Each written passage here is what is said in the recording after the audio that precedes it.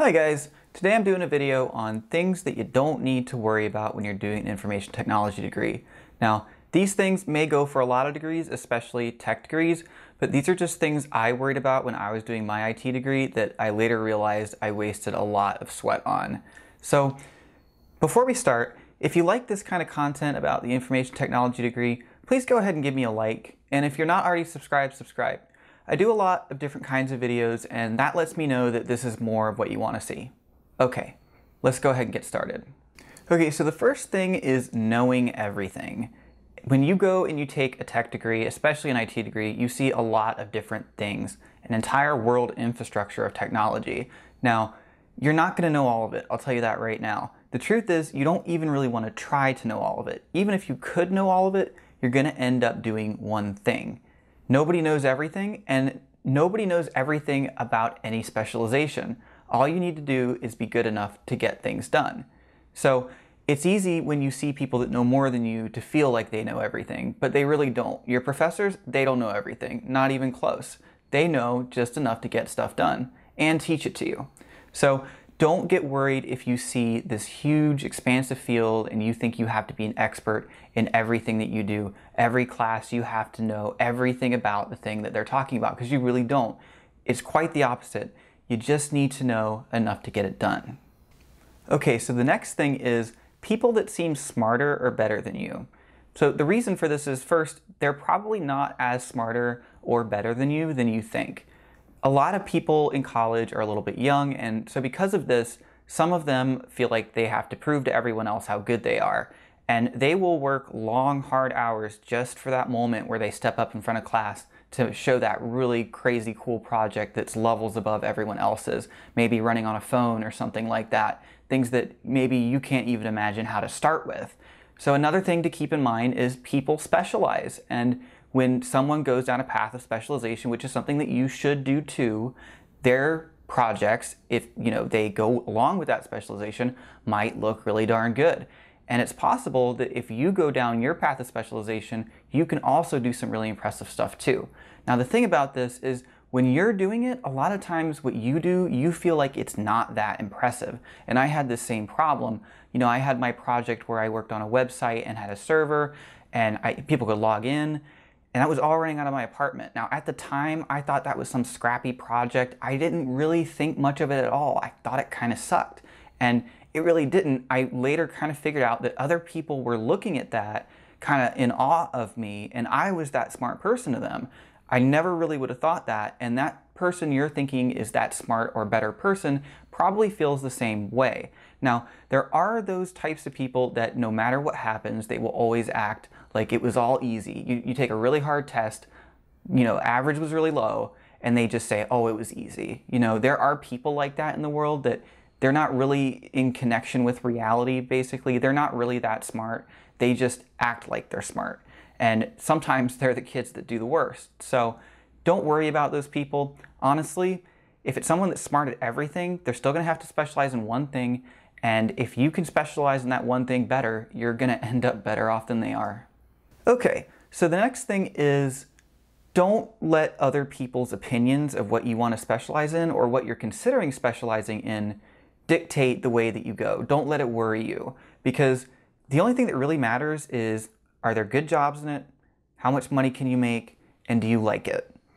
And what I mean by that is take programming for instance. So there's different types of programming and there's this thing where the people writing JavaScript, writing websites, people writing C++, you know, might not think they're real programmers because some of the stuff that they're writing is running in programs that were written in C++. The problem with this is you can take this all the way back to a really old guy saying his keyboard only had two keys on it, zero and one. So don't let this type of thing bother you. Another example is when I started my internship at ServiceNow, it was a support role. And I worried about what people would think of me. Oh, he got an internship in support. He's sitting in a call center calling people, right? And that's not really what it was. It was the word that actually bothered me. I looked at support as kind of a lower role because you had to work with people of all things. Now, that internship taught me so much. I wouldn't be where I am in my career without it. and not just for the people skills, but those really did come in handy. So beyond that, I learned a lot of technical skills, probably more than other people did in internships that sounded a lot more technical. I talked to people that had developer internship roles where they almost only did data entry. So the thing is, don't worry about the wording, worry about what you're getting out of it. So the next thing is the Mickey Mouse classes. And what I mean by Mickey Mouse classes is your lower level maths, your Englishes, things like that, that every single degree has to take. Now, you do need to pass these, so worry about them enough to pass, and you should try to do your best because if you can do well in these classes, it can, you know, boost your GPA, which looks good on a resume. But if you're not good at writing in English 2, that really doesn't mean that much as to your success with an IT degree or any kind of tech degree. If you're going to get a specialized skill, you know, writing in any environment is important, but college level writing, not so much. And any type of engineering, you really should be speaking in bullet points anyway, not essays. So the next thing is being bad at something. So in an IT degree especially, you're gonna do a lot of different types of things. You're gonna be bad at at least a little bit of it. And the reason for this is because it varies so much, and you're just not gonna be able to be good at everything. That's not what's important. What's important is that you can find something that you are good at and go down that trail and specialize in it. So you just have to, you know, you do have to worry enough that you don't want to fail the class, especially if it's degree specific. For example, I did discrete mathematics and I did not like it. I do not think I did well in it, but I got through it. Now, I felt bad about it. I felt like I should be good at everything. This is going to be my career, and I don't understand this, and I still don't understand it after the class. What does that say about me? Well, I'll tell you what. This many years in, I've never, ever used discrete mathematics in my job at all, even though it's a degree-specific course, something that goes along with information technology. I'm not good at it. If I had to try to do it today, I'd have a hard time but it doesn't matter because I don't have to. So the next thing is things that look complicated. Don't let complications scare you. Realize that everything you're learning about here was made by people and they probably weren't that much smarter than you. Their, you know, their brain is the same size as yours is. And the difference is they may know something that you don't. But what you need to do in the face of complication is break it down to simplicity, and this can be done, because to be built up originally, it had to start simple because it was made by humans. It's difficult to do this, especially at first when you see these really complicated things up on a PowerPoint. You think that there's no way you can do it, and you know, you're in over your head. This is too hard for you. But if you spend some time and just open it up and just look at it and use logic, that's the biggest thing. Everything has to run on logic. And this is where knowing the basics really well can help you break down a complicated problem. Because when you read about something really complicated like AES encryption, it's so overwhelming.